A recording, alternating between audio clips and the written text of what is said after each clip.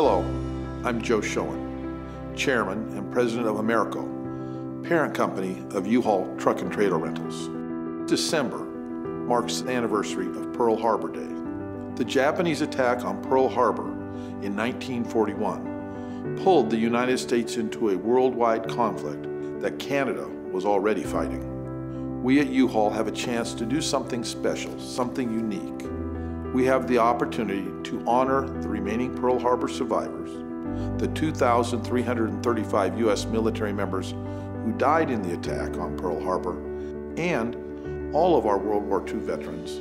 I am thrilled to announce that the Shoen family, on behalf of U-Haul Company, has committed to help preserve and enhance an iconic landmark that will continue chronicling the history of World War II for future generations. Time and weather have taken their toll on the Ford Island Control Tower.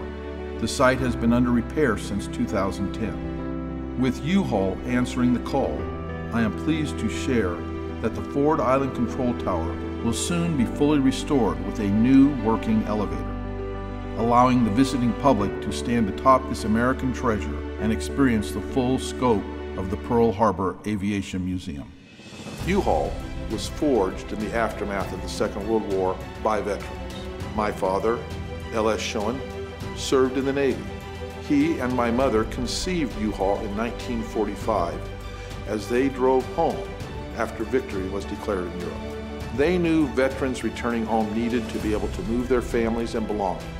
U-Haul built and then rented the trailers to make that relocation affordable.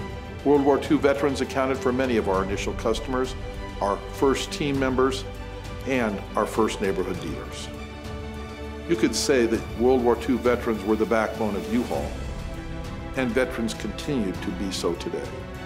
It is not by accident that veterans come to work for U-Haul. We recruit them because we know just how valuable they are. U-Haul has been recognized repeatedly as one of the top veteran-friendly employers in the United States. Most of those who served in World War II are no longer alive. Or perhaps like myself, you are not personally a veteran. Well, you too have a duty, and that is to vote and thus elect the leadership for your country, your state, and your city. Voting is your opportunity to show respect for those who served and the many, like those still entombed in the USS Arizona, who never returned. Our freedoms were bought at a high price. The attack on Pearl Harbor 77 years ago was an event that changed our nation and brought us together. We should always remember those who died to preserve our freedom, honor the survivors who are still with us, and cherish the freedom they purchased for us.